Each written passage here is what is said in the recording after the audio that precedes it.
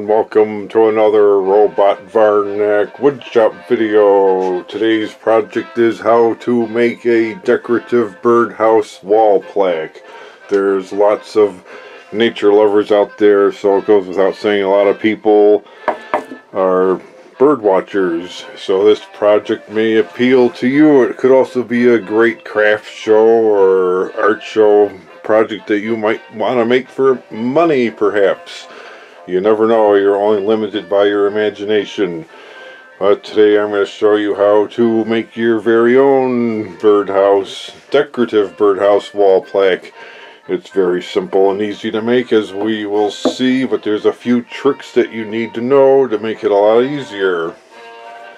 For example, you have to be able to cut the 90 degree angle here and, and uh, to keep the angle straight to line up at the hole and to line up the the back for a wall hanger. So uh, are you ready? Let's get started.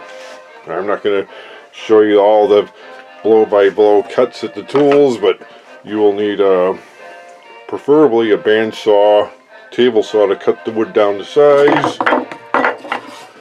So your birdhouse will consist of a piece of wood for the the main piece for the body of the birdhouse and pieces for the roof.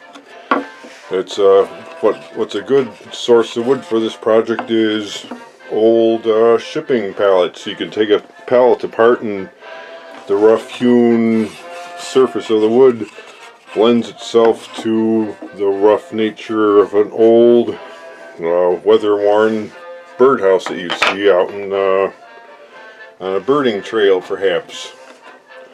So let's get started. The first thing you need to do is make a center line.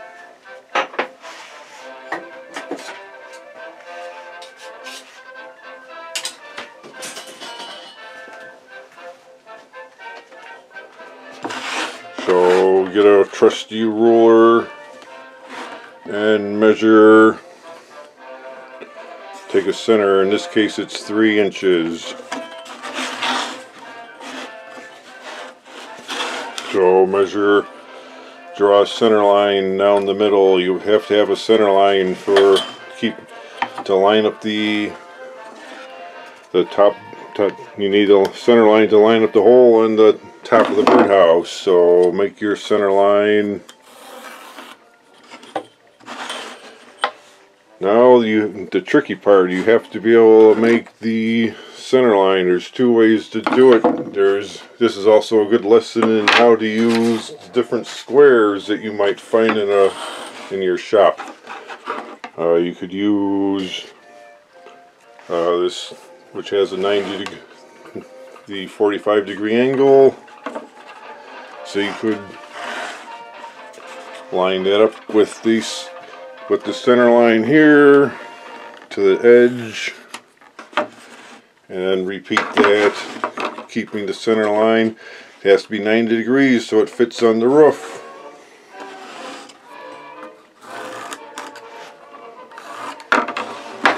So as you can see you have your 90 degree angle here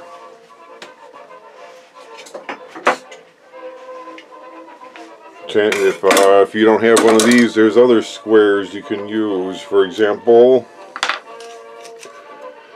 you uh, get 45 degree angles which is half a 90 if you want to do the calculations if you have like a machinist square you could set a, a T-bevel square to 90 the 45 degrees like so and set that at 40, 45 that would be 45 there. And you could check your work and see it's 45 and 45 for this project you also need about a one and a half inch Forstner bit. That is a drill bit that makes flat bottom holes in the case of the decorative birdhouse, you don't want the hole going all the way through. You just want the hole to go about halfway through with the Forstner bit. And then you need some uh, black, flat black paint is best to paint the inside of the hole to give it the illusion that it's a real birdhouse hanging on the wall so it looks more decorative so you want the hole to be dark inside like it's a three-dimensional birdhouse. So well what do you know? I, I just got back from the bandsaw and cut the 45 degree angle here. So now we're ready to cut the piece for the roof. In the case of the roof you want a slight overhang on the top there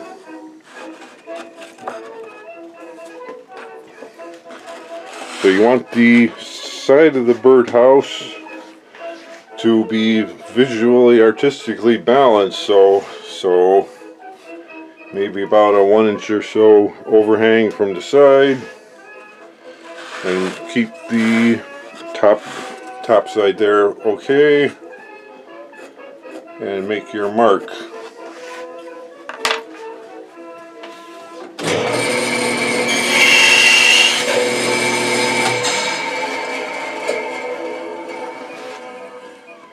now you got one side you have to make the other side to match.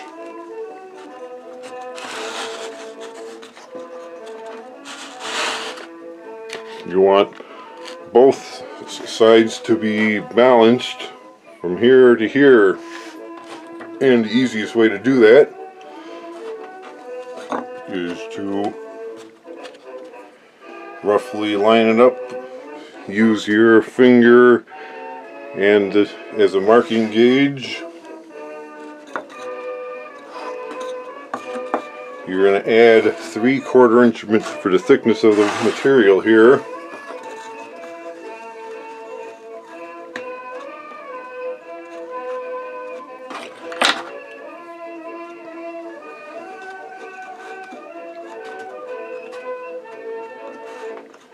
You could also use a square and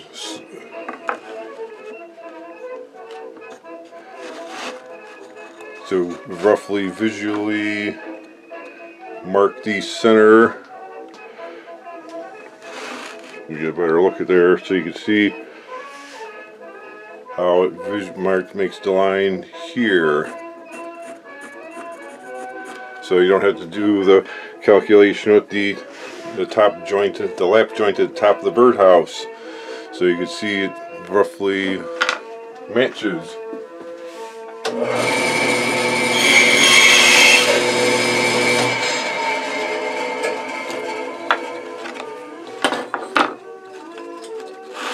Now as you can see the birdhouse is taking form. So now you make your hole depending if you want to make it look more realistic you could actually build the, face of the birdhouse to specification but some birdhouses are quite big in real life so you want this to be more decorative. So a one and a half inch hole uh, usually works best. I'm just going to make a new center line because you saw that this was a switch switch piece So once you get your center line, you mark the hole where you want the hole to go.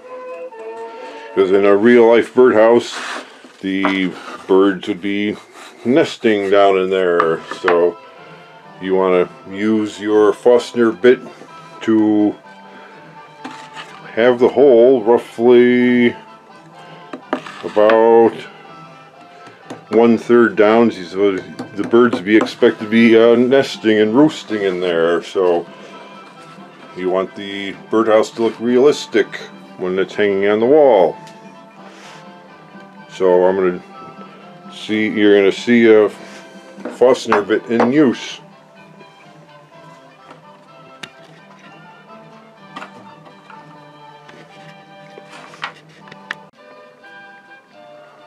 When using the Forstner bit, you want to make sure your workpiece is securely secured, so use a couple of clamps to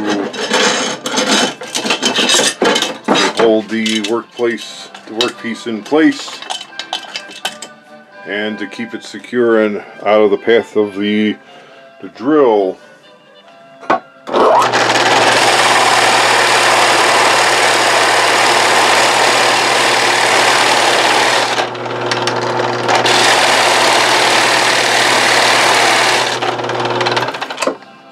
We only go about halfway down, so the, that's why you want to use the black paint to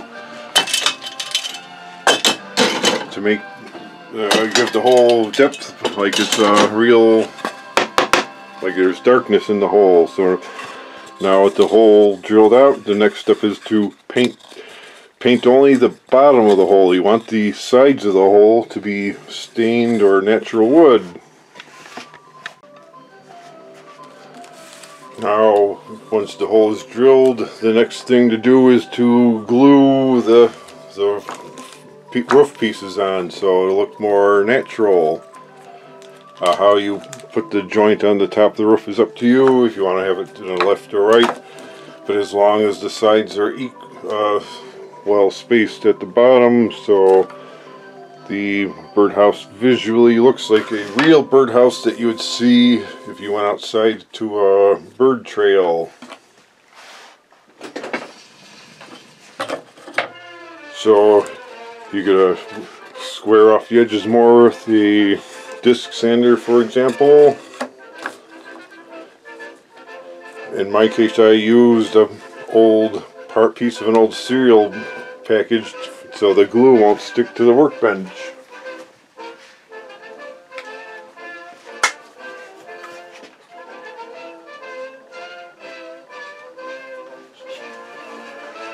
So when you glue the roof pieces on, you only want to stick it to the lower lower part of of the roof there.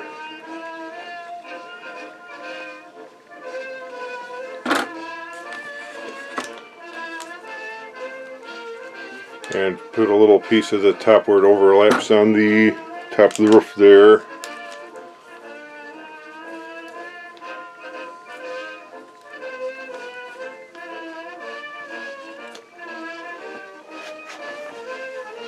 And while that's going on, you the next thing you do is paint the inside of the hole.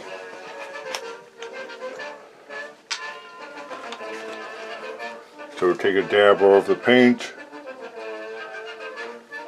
remember you only want the paint the inside of the hole.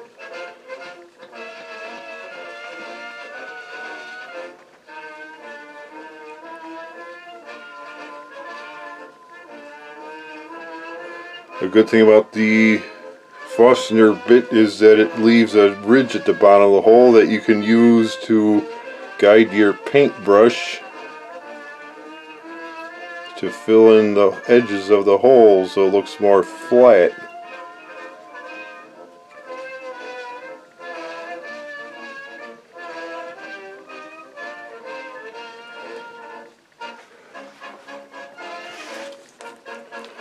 Oh, it looks like the glue is already setting up so it can be moved.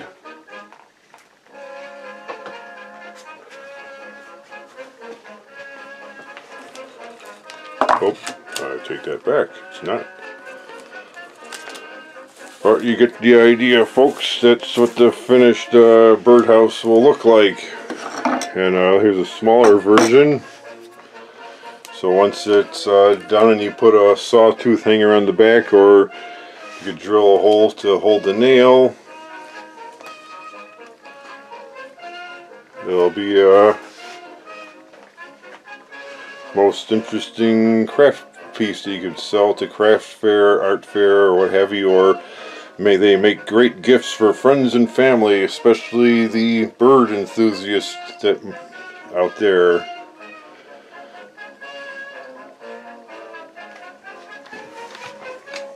See, you can see how the hole looks more more like is a three-dimensional birdhouse. So once it's hang hanging on the wall, it'll look uh, look good, like a real like it's a real birdhouse hanging there on the wall. great wall decoration that you can make easily make. So in summary, we actually learned how you could use the center line to line up the the line to cut the 90 degree 90 degree angle here to make the roof of the birdhouse that you could actually use to make a real birdhouse. Let me know in the comments. I might show you how to make a real three-dimensional birdhouse that you could hang in your garden and help help the little birdies in in your uh, area. So that being said,